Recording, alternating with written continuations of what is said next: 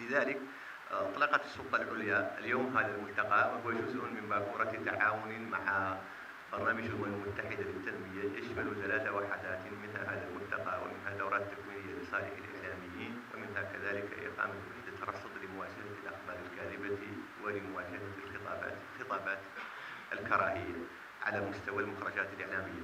والسعداء بأننا في حصيلة التقييم الذي قدمته السلطة العليا خلال الأسبوع الماضي وهو تقييم نسبي أو موضعي يتطلب يعني أساسا حدود الأسبوع الأول من انقضاء الحملة الانتخابية بأنه تم تأمين بشكل كبير لنفاذ الفاعلين السياسيين إلى وسائل الإعلام العمومية بمعدل يصل الآن إلى 220 حصة مجانية لإذاعة موريتانيا وتلفزة موريتانيا وصفحات من جريدة الشعب وأوريزون عموميتين.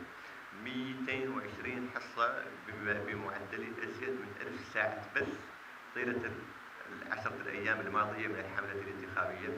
وهي فرصة تسمح للسياسيين بالمزيد من التواصل مع مناصريهم ومناضليهم وتقديم خطابهم وتسمح للمواطن أيضا بالاختيار عن وعي وعن بصيرة. لأن العملية الانتخابية بالنهاية ليست عملية صناديق اقتراع وهيئات ناظمة أو ناخبة تتكلف بيوم الاقتراع. لذلك اختزال كبير. العملية الانتخابية هي مسار متكامل من تعزيز الحكامة الديمقراطية.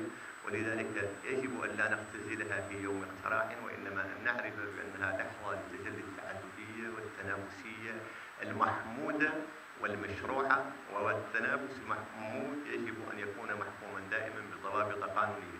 لذلك تطلعون كإعلاميين وكذلك الشأن بالنسبة للسياسيين بدور كبير فيما يعرف بالتثقيف الانتخابي لأن العقد الفعلي والبوصلة الحقيقية هي تلك التي تربطنا بالمواطن وبالناخب تثقيفا له تيسيرا لأدائه لصوته تقليما لكل إكراهات يمكن أن يواجهها في الإعراب عن صوته يوم الاقتراع حتى يصل إلى يوم الاقتراع.